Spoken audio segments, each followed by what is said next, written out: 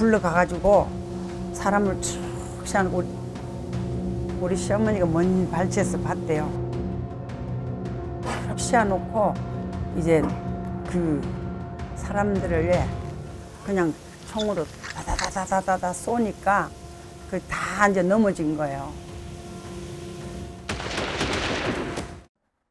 거기서 팍 밟으니까 억 하는 소리가 나더래요. 그러니까 이제 그래 밟고 다 지나갔대요. 그래 그때 이제 우리 시 할아버지 시 할머니 다 거기 우리 시, 시, 우리 시아버지 형제간들이랑 다 그렇게 돌아가셨어요 그때. 섣달 열여덟 날 그, 거기 북촌 동네는 맹지래 맹지. 제사가 없는 날 없는 집이 없어요.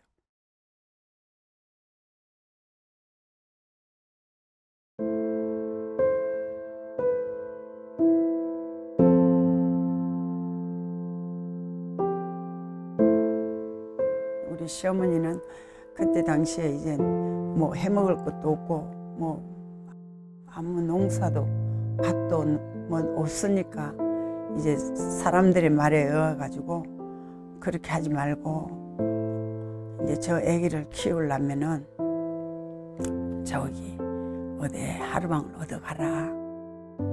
또 그 영감이 또 우리 남편을 괴롭히고 막 또막 하니까 이제 도저히 안 되겠다 해가지고 우리 시어머니가 거기서 나왔어요. 무당 그 대신방이 거기 신풍리에 살았어요. 그 대신방 졸음에 따라다녔어요.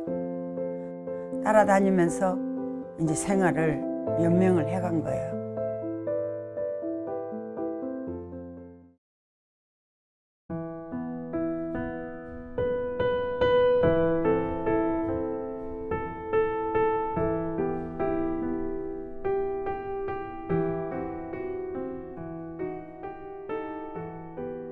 우리 신우가요, 우리 큰 집 밖거리 살았어요. 경남 양산군.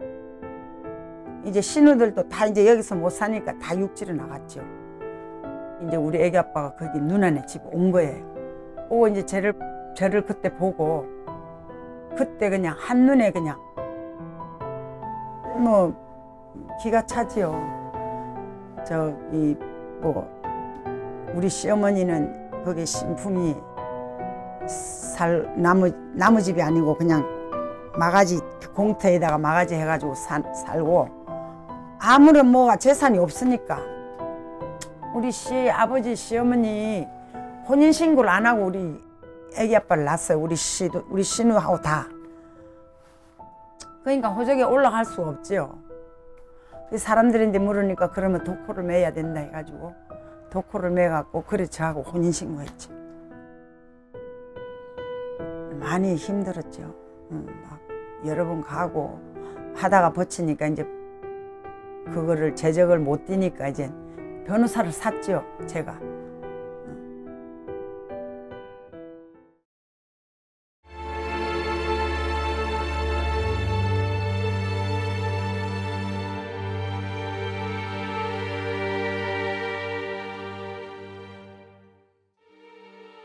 나만 이렇게 하냐. 그리고 맨날 비관하면서 그냥 술을 동시장에서 뭐 고기 장사도 하고 커피 장사도 하고 내가 안 해본 거 없이 다 해봤으니까. 천대받은 건 고생한 건 말도 못하고. 그런데다가 또 그런 병 맞아 있어가지고 내가 인생이 불쌍해서 가지도 못하고 너무 비참하고 정말 불쌍하기도 하고 음, 말할 수 없지요. 우리 애들까지도 그 사삼 때문에 우리 애들이 무슨 죄가 있냐. 그것 때문에 다 이런 거.